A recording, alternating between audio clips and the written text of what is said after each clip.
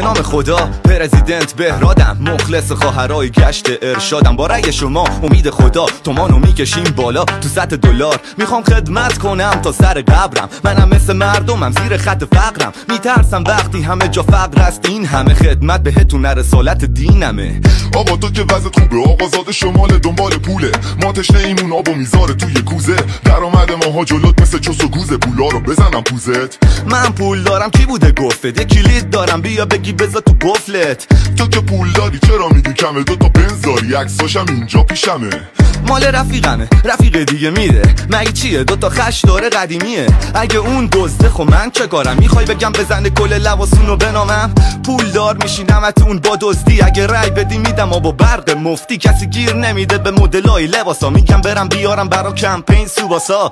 برا از بین بردن کرونا میدم همه دکه ها. بهتون بدن ماری جوانا. چه باحال واسه اقتصاد چی کار می‌کنی؟ تو با ما لابود میری صلح کنی با اوباما. بس ادامه نده. اقتصاد که مال خره. اگه خونه داری به مجرد جاره نده. برا سرکوب رسانه ها داری فکری. ساده است اینترنت ملی.